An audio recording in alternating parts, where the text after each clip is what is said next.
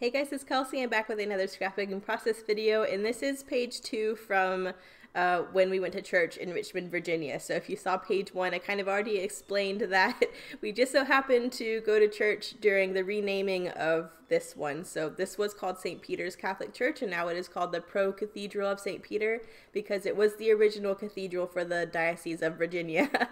um, since then, it has moved to a new cathedral, but they wanted to honor again the history, like I kind of mentioned in the first page, by renaming uh, this as it was the original.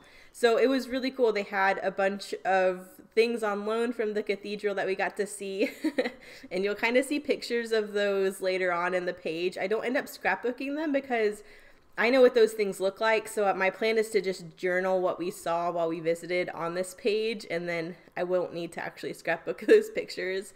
Uh, but you'll see everything that we got to see, um, and a couple pictures I'll lay out later on in the page. But I decided because um, this church, the inside is painted kind of like a light blue, and the ceiling has like a sky mural on it with clouds and everything. I really wanted to do this tone on tone blue for this page. So I'm just taking a scrap piece. Well, I, I gutted the middle of that solid. I'm saving the outer portion for a frame for a later page.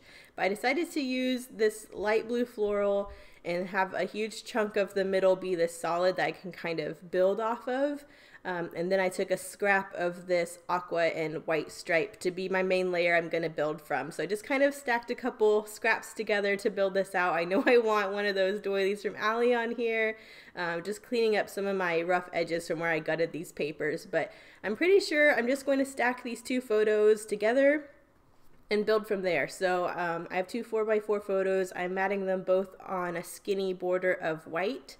And then I'm just going to kind of stagger them next to each other on this um, vertical piece of this striped paper. And that's where I'm going to plan on building everything from. Uh, I'm thinking with the lighter tones in uh, the photo, you can see their beautiful organ um, in the one photo that was up on the balcony behind us in the church. And then you can see the altar in front with all this really beautiful stonework and statues. And so I really thought this kind of lighter wood grain, this softer wood grain kind of pulled out those tones. So um, I'm hoping to kind of go in that direction as far as ephemera. So you can see this one 3x4 cut apart that says uh, Love Builds a Happy Home. Um, thinking maybe I'll use that for one of my layers. I'm thinking maybe I'm going to just have uh, the top part of it sticking out from up there and then hang the bottom part of that die cut down the bottom. So you'll kind of see what I mean. But um, again, just using some more branding strips. I'm really trying to take advantage of my branding strips. So um, they kind of had this blue on blue kind of, it's kind of a green tone, but it's in the color scheme of the floral I've already used.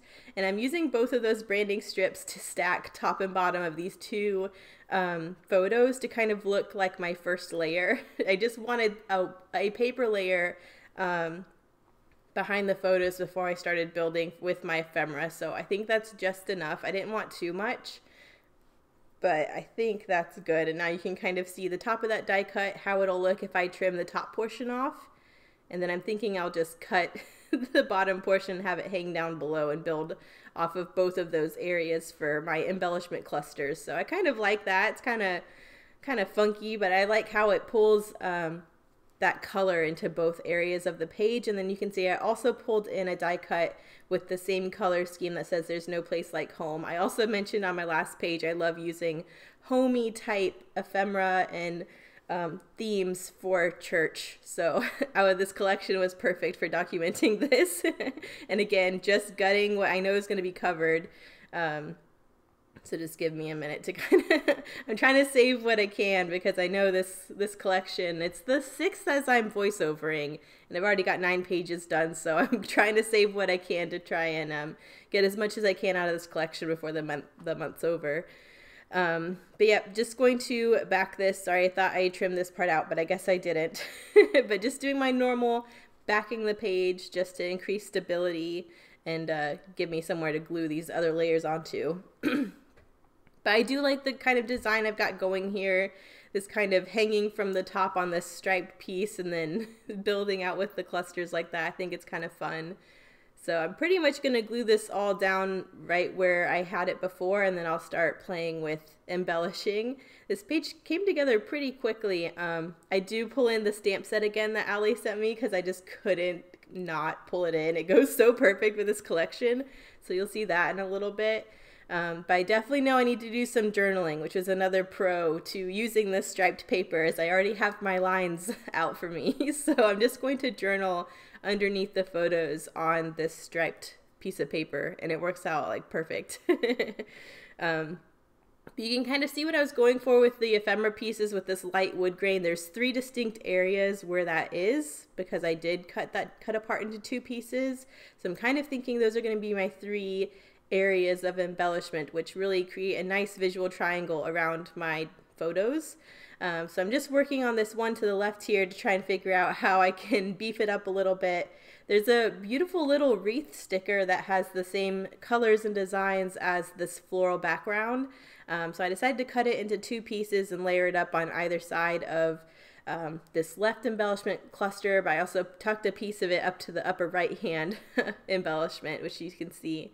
Um, and now I just wanted a little friend to stick behind the wreath as well as looking too plain as it was. So I did just take a sticker banner of that kind of bluey plaid um, to go behind there. But I'm happy with that. I think that's a nice little um, base for this embellishment. So I just popped it up on some foam and that's going to be stuck up there.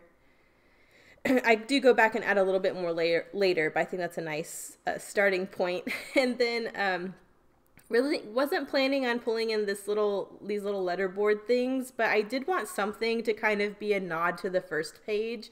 Um, these this page and the first page i did from the church even though i'm using the same collection they really don't look very similar but i wanted there to be some crossover. So i mean i already know i'm using ali's doilies i'm using the heartwood veneer i'll get to um, but i really wanted to pull in this little letterboard idea because that was one of the bigger ephemera bits on the last page. So there's one that says Home Sweet Home.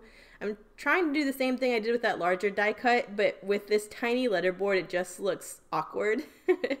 um, but I wanted to use that smaller bit I already cut off somewhere, so I just move it to this other cluster just for additional layering. Um, and I, I, think that looks fine. It really wasn't needed, but at that point I'd already trimmed it. So I was like, well, I might as well layer it up somewhere. Um, so that's what I decided to do. There we go. Back to the sticker sheet, definitely trying to beef out these clusters a little bit. Uh, another thing I used on the last page was a little black and white word sticker and a little ampersand sticker. So I pulled both of those in on that upper cluster. That one says family. And then there's just these little doodly black and white. I don't know what they're supposed to be. They kind of look like butterflies on a little bar. I don't know what they are, but um, they kind of remind me of hinges or like a decorative sign element. So I put them on either side of that little cut apart just for some decoration. and now you can see I'm just doing my journaling with some black. It just says it was an honor, it was such an honor to attend Mass in such a historic church. St. Peter is the oldest continually active church in the Virginia Diocese. To celebrate the renaming of the Pro Cathedral, they had some very special pieces on display.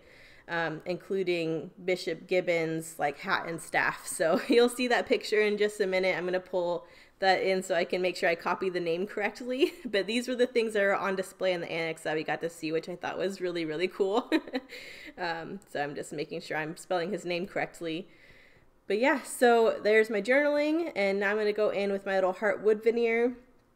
I'm still thinking there needs to be a little bit more uh, after these wood veneer, and I wasn't quite sure what. And then that's when I was like, oh, the stamp set. So I'll go in with that in a little bit. I'm just going to go ahead and glue down all these little heartwood veneer with my Tombow Mono Multi.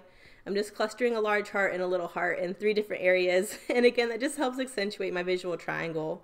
Um, everything looks very balanced and pleasing to the eye. So I'm going to get that down.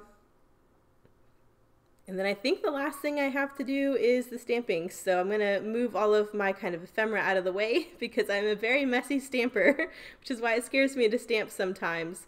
Um, because I just seem to always mess it up somehow. Um, but I am priming my stamp set this time. The last page I used the stamp set on, I didn't. Um, and you could tell. So I'm just rubbing it on my arm to kind of prime it to pick up ink.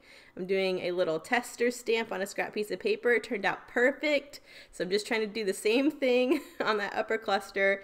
I just wanted something to kind of mimic my journaling on the bottom, just a little bit of black text at the top. And I thought that stamp was perfect. And there's this teeny tiny adorable little heart on the stamp set that I've been dying to use as well. So I'm just going to stamp this teeny tiny heart in the middle of the O, and I think that is like the cutest thing ever. I love this little stamp set. It's adorable. so here are the close-ups. Thank you guys so much for watching, and I'll see you in the next one. Bye.